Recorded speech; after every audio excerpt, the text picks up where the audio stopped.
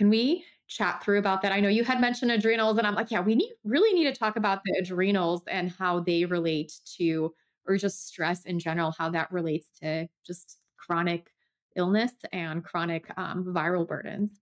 Suboptimal adrenal function and thyroid function is oftentimes something that'll make or break somebody healing. And sometimes their problem is not so much the virus as much as it is that those are both not operating suboptimally. I have a really incredible mentor, um, Dr. Paul Anderson, and he always talks about how if you're supporting the thyroid, you you got to be supporting the adrenals. Like they work together. You have signals from your pituitary to your thyroid and your adrenals. That whole thing is connected.